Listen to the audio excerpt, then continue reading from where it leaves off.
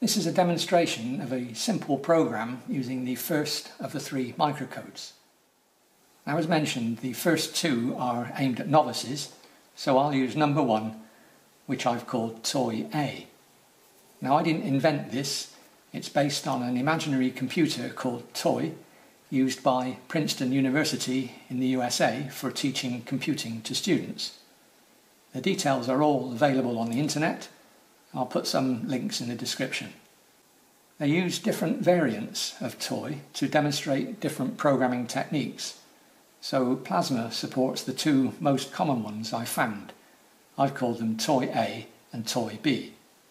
Here's the full list of instructions for Toy A, and you can see there are 16 different functions. Add, subtract, load, store, etc. Now instructions are all 16 bits long, so now you know all about hex from the previous video, you'll know that 16 bits can be represented by four hex digits. And column 1 in this table shows how these four digits are used. The first digit is always the function number. You can see it goes from 0 to f, which gives us the 16 functions. The next digits represent the qualifiers, or operands, to the function and how these are structured depends on the function.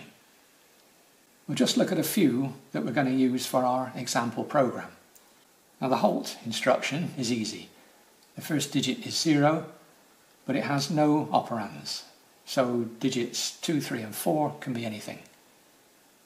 You can use this to terminate your program, and the halt light up here will turn on when a halt instruction is encountered. The next few instructions have a similar format. They all perform some operation, add or subtract and so on, on two source work registers and store the result into a destination work register. Now we saw the work registers earlier. The registers R0, R1, R2, everything up to RF. Now the D digit represents the destination register and the S and T digits represent the source registers. And there are 16 work registers. And how many bits do you need to specify 16 values? Well, you're right, it's 4 bits, or one nibble. That's why this instruction set is so easy to get your head round. The nibbles refer to one of 16 different items. So an add instruction is a 1 followed by the register for the result, followed by the two registers which are to be added together. So if I wanted to add the contents of registers 7 and 8 and store the results into register 9, the instruction would be 1, 9, 7, 8. If I wanted the answer to go into register E instead, the instruction would be 1, E, 7, 8. And note the three registers do not have to be different. For example, what would 1577 do? Well, it would add the contents of register 7 to the contents of register 7, in other words, multiply it by 2, and store the result into register 5. How about 1555? Well, that would add register 5 to register 5 and store the result back into register 5. And if you repeated this instruction, register 5 would double each time. Now this three register format is used for instructions 1 to 6. The next ones use slightly different formats. A load address, which is one we're going to use, uses the first two nibbles as before. The first is the function, 7, and the second is the destination register. This time though, the third and fourth nibbles are used as an 8-bit number, a byte, and this is the number to be loaded into the destination register. So to load hex 34 into register 2, the instruction is 7234. And to load hex FE into register A, the instruction is 7A, FE. Okay, so now we're ready to try some code. The previous video showed how to increment a register, in this case PC, manually by using the switches. So let's try writing a program to increment a work register automatically. And normally you would write down the program steps and only load them into the computer when you're finished. But it's a fairly basic program, so I'm going to load the instructions on the fly. The first thing to notice is there's no increment instruction. This is something you'll come across a lot in programming, and part of the skill is breaking down your requirements into the limited functions available. And the closest instruction to what we want is an add, but as you've seen, it only adds register contents together. And we haven't loaded the registers with anything yet. They are either random when you switch on, or zero after you press the reset switch. Now if we could load a 1 into a register, we could then use the add instruction to add this to another register, giving us the increment function we need. Now before we do anything on here, I need to load microcode 1.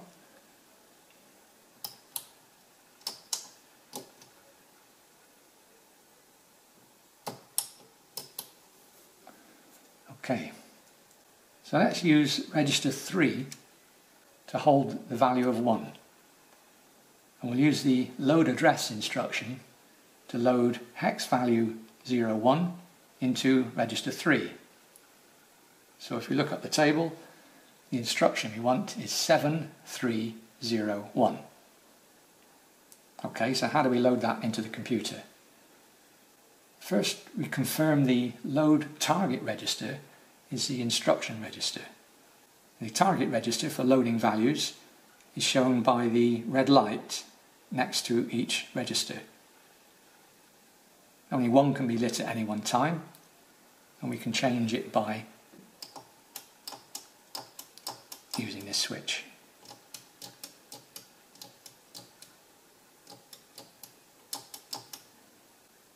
Okay, next we set the instruction you want onto the load switches. That's this set of 32 switches here. Now in our case we only want 16 because the register is 16 bits wide. So we use the right hand end.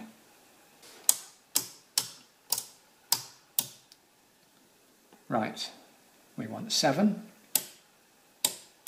3, 0, 1. And now we press load and you'll see the value 7301 is in the instruction register and it will be in store. The address in store will be whatever is shown on the program counter, which is 0. So address 0 in the store will have this value. In fact, if you remember from our first video, these switches allow you to inspect any address in store and they're all off at the moment so it's currently looking at address 0 and that's why this value is the same as this value. If I look at address 1 this changes. Okay, that's one instruction done.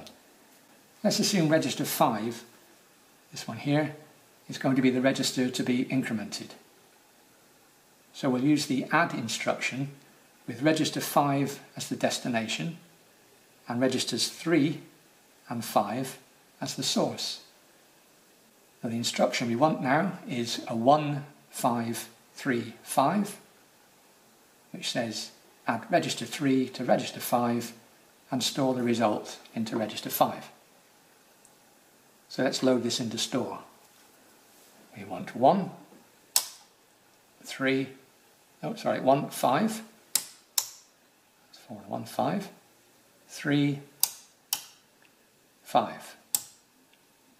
Now before we load it, just note the program counter is address 0, which holds our first instruction. We don't want to overwrite that, so we need to increment the program counter. That's what this button's for. Increment PC, we're on address 1, and now we can load the value. Now if we want to repeatedly increment, we need to repeat this instruction. So let's add a few more. We increment PC on address 2 and load. The value hasn't changed, so we'll load it again. Inc PC, load, and we can keep doing that as often as we want. Now I notice that incrementing PC is going to be needed after loading each instruction. So to make it easier, there's another switch called load and increment, which does exactly that. It loads the value from the load switches and increments PC automatically, ready for the next one. So let's use that one. Load inc, load inc. You can see PC going up each time.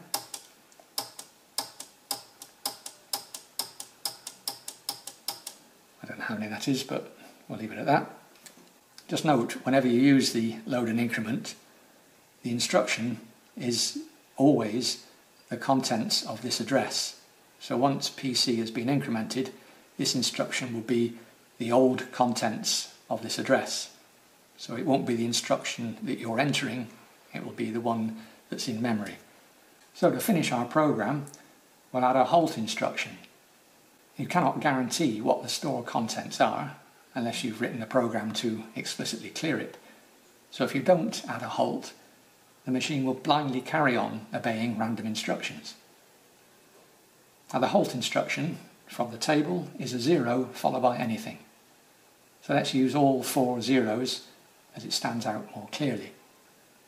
So we can either set all zeros on the load bank here and press load, or you can just use the clear switch. This switch here is down for load, up for clear. So we just make sure PC is the value we want and we press clear. Okay, the program's loaded and we can inspect it using the Inc Dec PC switch. So if we press reset, we'll go back to address 0 and we can see the first instruction there, 7301, which was our load, if you remember. We'll increment PC and the second instruction is a 1535, which was our add. Next instruction is the same, next instruction is the same. keep going. And there's the last instruction, which was a halt. We're not obeying the instructions, we're just looking at them by altering the value in PC. Reset to the start. Right, now we can run the program.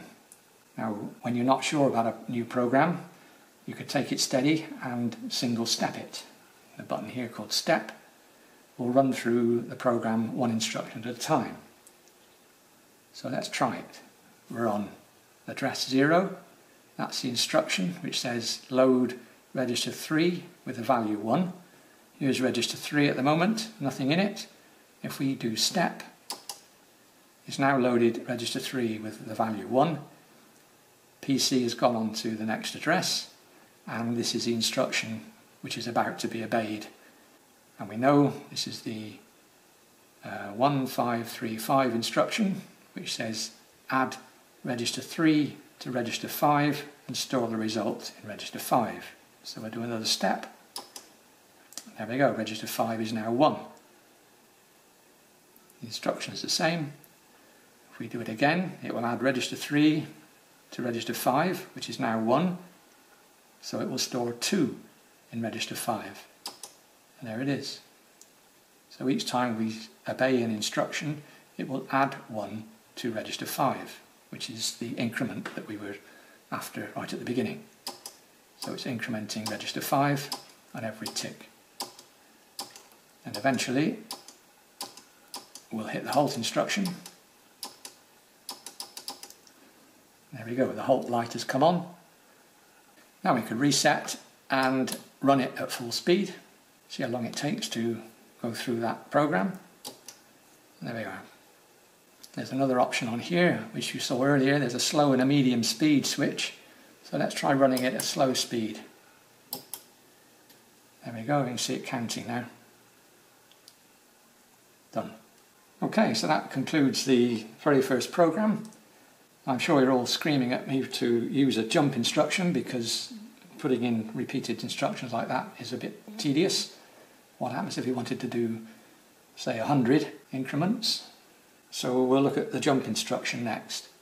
Okay, thanks for watching.